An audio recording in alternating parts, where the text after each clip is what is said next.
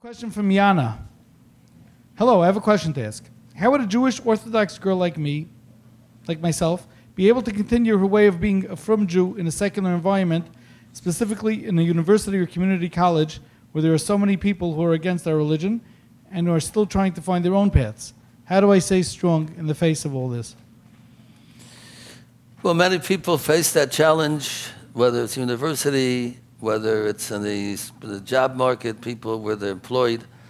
Uh, maybe we're living in, in different uh, cities where uh, different sections where the non-Jewish uh, uh, neighborhood, and uh, they're faced with this question: How do they stay strong in the Judaism if all around them it's a secular kind of anti-Jewish environment? but number one, we give them a, a, the, the best advice to put themselves in a Jewish environment as best they can and uh, they won't have this problem so much.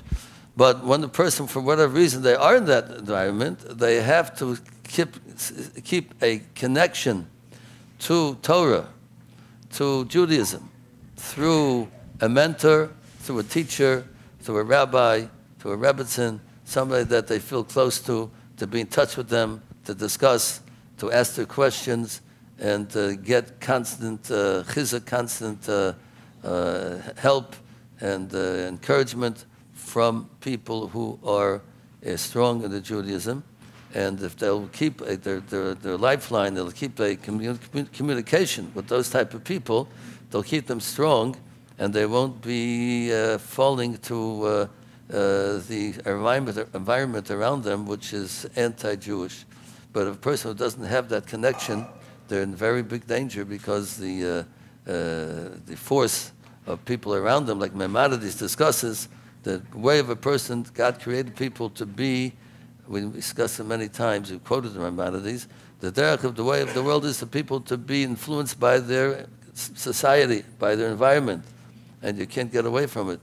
And if and Rambam gives a person the, uh, uh, the, the obligation to remove himself from such an environment, because if he doesn't, he's going to sooner or later be in, in influenced by it.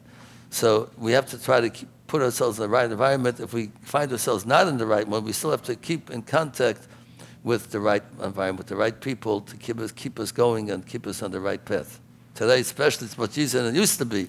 With the technology today, we can keep in touch with people by telephone, by, by, uh, by all kinds of means of communication, and keep us going uh, in, this, in the right path.